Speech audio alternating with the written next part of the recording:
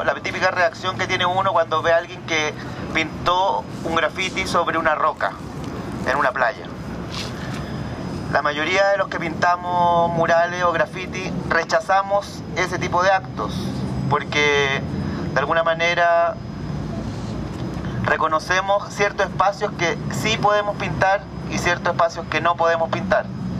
Esto del arte urbano a partir de que, bueno, digamos en la capital me he estado desplazando también y ha habido esta corriente hace unos escasos cinco años y, y la movida prácticamente llevamos un par de, artistas, la movida hacia este lugar eh, a cinco horas de la capital, básicamente en Ecuador está todo cerca y comenzó a gestarse este tipo de arte y, y ha habido eh, respuestas favorables desde las autoridades también y para los permisos a veces municipales y ese tipo de cosas.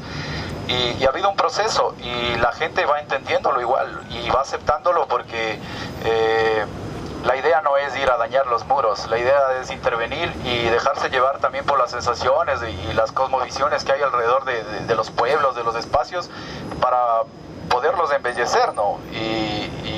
Que a partir de ese proceso haya este entendimiento y haya un respeto también a esta expresión. Lo principal es mandar un mensaje positivo, no importa la opinión de cada uno, sino nuestro trabajo como, como un colectivo, así que queremos aportar a la zona con, con este trabajo.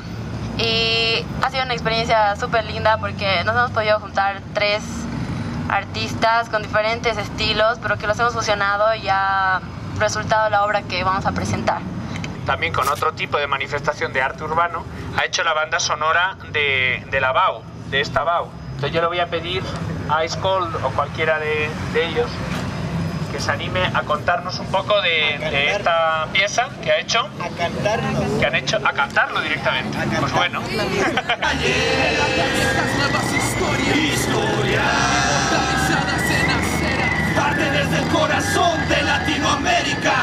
público con el arte urbano. Este tendrá que tener un límite para no caer en el vandalismo. Yo creo que el límite se basa o radica básicamente en lo que nombró recién Chaquipa, que es el respeto. El respeto al, al espacio público y al entorno que, que compone o que contextualiza el lugar donde uno está interviniendo. Ustedes tienen la experiencia de haber disminuido la excesiva violencia en sus diferentes facetas esta promoción del arte urbano en algunas ciudades de América Latina. Que el arte urbano puede servir de alguna manera para disminuir la, la, la violencia barrial o juvenil en las distintas ciudades en las cuales se ha desarrollado. Entre cientos de muros que veo en cámara lenta, faltos de color como películas de los 70. Despertamos, somos parte ya todos de una jauría.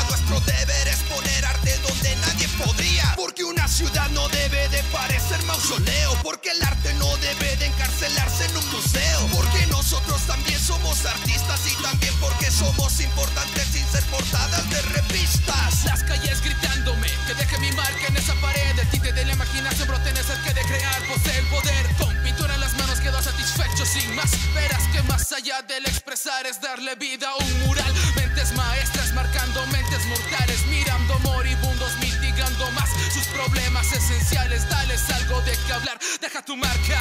Que te recuerden incluso después de que te visite la parca. Puedes marcar el futuro con algo memorable, contando una historia y hacer que esta sea inolvidable. Porque está en tus manos hacer algo increíble, aunque el resto de la gente piense que es imposible.